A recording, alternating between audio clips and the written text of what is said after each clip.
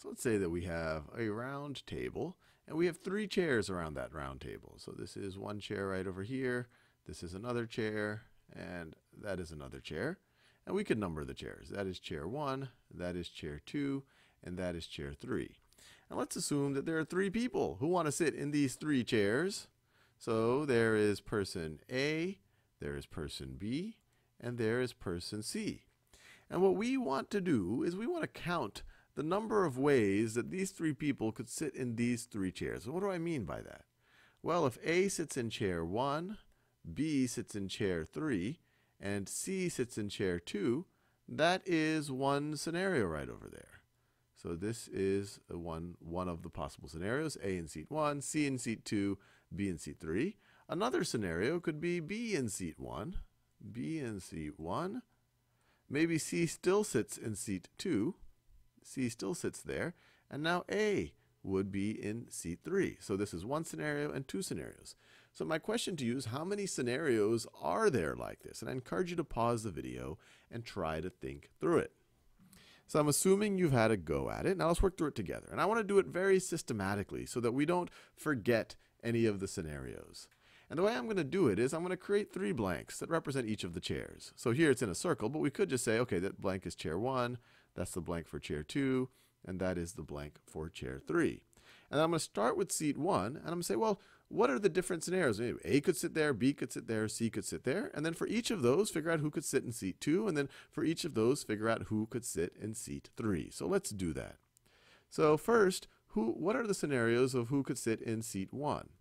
So actually, maybe I'll write it this way. So maybe I'll do seat seat 1. So right now we're only going to fill we're only going to fill seat 1. Well, A could sit in seat 1, in which case we don't know or we haven't filled at seat 2 or seat 3 yet. So this 2 or 3. B could sit in seat 1, and we haven't figured out who sits in seat 2 or seat 3 yet. Or and then we could have C sitting in seat 1, and we still have to figure out who's going to fit sit in seat 2 and seat 3. Now, for each of these, let's figure out who could be sitting in seat 2. So seats, seats 1 and 2. So for this one right over here, either, we could either have, so we have A in seat 1 for sure. Now, we could either have B sitting in seat 2, in which case, in which case, actually I'll leave this blank, although you could use a little bit of deductive reasoning to figure out who's going to be sitting in seat 3. So I'll leave seat 3 blank. Or you could have C sitting in seat 2, and now we still haven't figured out who's sitting in seat 3, although once again, a little bit of deductive reasoning might tell us. So the, these are the scenarios where A is in seat 1. Now what about where B is in seat 1? Well, we could put A in seat 2, and we still need to figure out who's in seat 3. Or we could put C in seat 2, and we still need to figure out who's going to be in seat 3. And then finally, let's look at C, where C is in seat 1. Well, you could either put you could either put A in seat 2 or you could put B in seat 2. All right, now let's fill out all three of the seats. So seats seats 1, 2, and 3.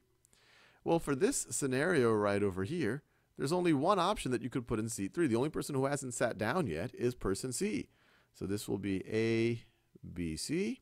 And what would this one be? Well, the only person who hasn't sat down in this scenario yet to fill this chair, the only option for this chair, there's only one option here. It's going to be person B. So it's A, C, B.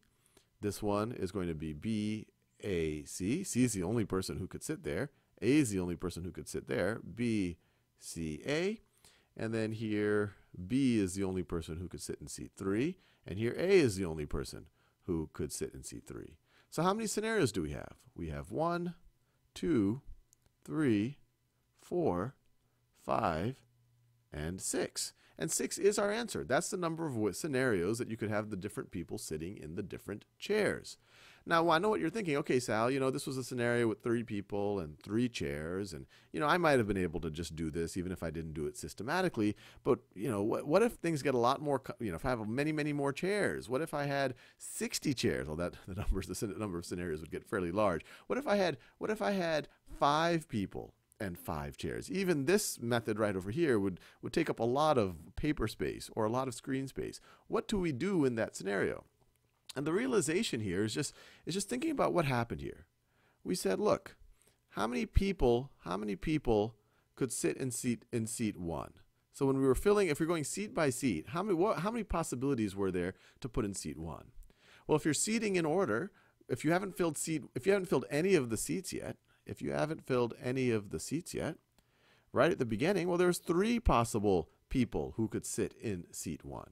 You see it right over here. One, two, three, because there's three possible people. Now, how many people, for each of those, how many people could sit in seat two? Well, for each of them, let's say the scenario where A is sitting in seat 1, there was two possibilities for who could sit in seat 2. Notice, let me do this in a different color. So this right over here. For each of these, for each of these, for each of these three, there's two possibilities of who could sit in seat 2. If A is sitting in seat 1, you could have either B or C in seat 2. If B is sitting in seat 1, you have either A or C for seat 2. So for each of these three, you have two possibilities of who could sit in seat two. And so for each of these, for each of these, so you have six possibilities where you're filling in three times two, or you're filling in how many, the, the scenarios for seats one and two. And then for each of those, how many scenarios are who could sit in seat, who could seat in the last seat, in seat three?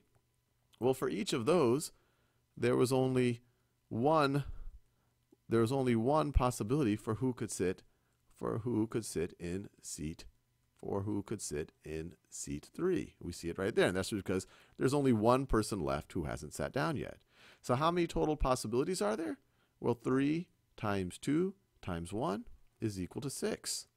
And so if we were to do that same exact thought exercise, would say 5 seats, let's go through that exercise. It's interesting. So if we have one, two, three, four five. So this is five seats with five people sitting down. We want to figure out how many scenarios are there for all the different people in all the different seats. Well, for the for the first seat, there's five different people who could sit in it. Now, for each of those scenarios, there's four people who haven't sat down left yet who could sit in the second seat.